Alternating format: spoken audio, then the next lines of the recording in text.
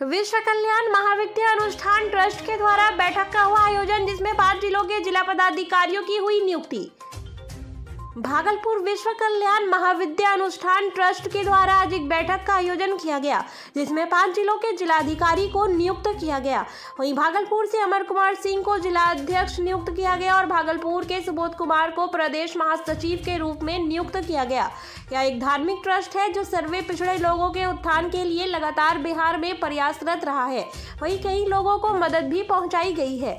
Trust के द्वारा पिछले साल किए गए कार्यों की समीक्षा की गई। वहीं पाँच जिला के आए पदाधिकारियों के द्वारा पाँचों जिलों के अध्यक्ष, उपाध्यक्ष सहित कमेटी मेंबरों का चुनाव भी किया गया, जो आज से अपने अपने जिला में ट्रस्ट को मज़बूत बनाने के साथ साथ दबे पिछड़े लोगों को मजबूती से समाज में रहने को लेकर मदद करेंगे। कहीं परेशानी होने पर राज्य अध्यक्ष और उपाध्यक्ष से सलाह मशवरा कर लोगों का उत्थान कैसे किया जाए, इस दिशा पर भी काम करेंगे। कार्यक्रम के दौरान भागलपुर, मुंगेर, बांका, जमुई और कई जिला के जिलाध्यक्ष को नियुक्ति पत्र भी दिया गया। जो विश्व कल्याण महाविद्या अनुष्ठान ट्रस्ट का बैठक आज आहूत किया गया है वो प्रदेश महासचिव के मनोनयन के लिए किया गया है और इस पद पर श्री सुबोध कुमार जी जो कि एसआरएन ग्रुप के चेयरपर्सन हैं उनको प्रदेश महासचिव के रूप में मनोनीत किया जा रहा है।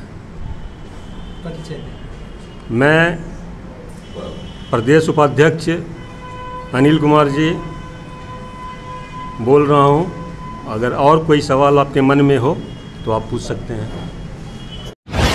विद्या अनुष्ठान ट्रस्ट जो है एक धार्मिक ट्रस्ट है जिसमें समाज में जो लोग पिछड़े हुए हैं वो सामाजिक व्यवस्था के अनुसार उनको साथ में लेके चलने की क्रिया है। आज की बैठक का उद्देश्य क्या है?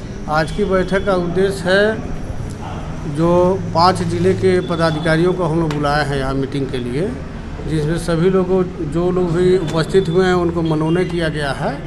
बांका जिला है, जमुई है, भागलपुर है, मुंगेर है, और विशेषता जो है यहाँ भागलपुर से जो है, सुबोध कुमार जी, उनको प्रदेश का महासचिव बनाया गया है, उनको पदभार दिया गया है, ताकि हम लोग अपने ट्रस्ट का उद्देश्य को लेकर धीरे धीरे आगे बिहार में बढ़ते रहे।